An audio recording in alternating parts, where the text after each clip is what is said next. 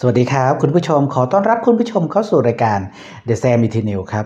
ช่วงคุณหมอชวนคุยวันนี้ครับ เรามีเคล็ดลับดีๆ มานำเสนอให้คุณผู้ชมทางบ้านกันนะครับ เดี๋ยวเราไปรับชมกันเลยครับนะก่อนอื่นให้เราเข้าใจก่อนว่า mindset หรือว่าแนวความคิด ก่อนที่เราจะปรับพฤติกรรมนะ เราต้องรู้ก่อนว่า เราต้องยอมรับว่าพฤติกรรมการ ขับเสมหะ หรือเบ่งขับเสมหะอยู่ตลอดเวลาเนี่ยอันนี้เป็นอาการอันหนึ่งให้มองว่าเป็นเป็นอาการ อย่ามองแค่ว่าเป็นนิสัยนะแต่เป็นอาการอันหนึ่งเพราะอาการนี้จะยิ่งทำให้เกิดเสมหะ อย่างที่ผมพูดนะฮะจะยิ่งทำให้เกิดกล่องเสียงบวม แล้วก็หลั่งเสมหะ วนไปวนมาแล้วไม่จบสักทีดังนั้นให้เราเข้าใจก่อนว่า พฤติกรรมนี้คืออาการ อันที่สอง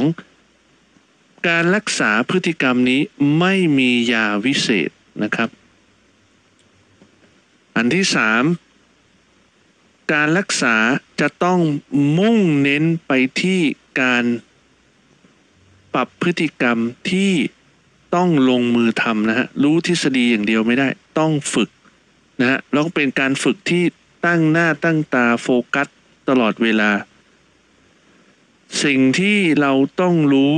ว่าเราจะต้องเปลี่ยนพฤติกรรมนะฮะเราจะไม่ต้านเมือกในคอนะ แต่เราจะเปลี่ยนพฤติกรรมทำยังไงให้เราลด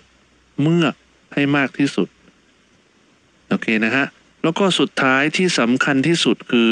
อันนี้ผมอยากขอลบกระดานเลยนะฮะ แล้วก็อยากให้เราทุกคนตั้งใจฟัง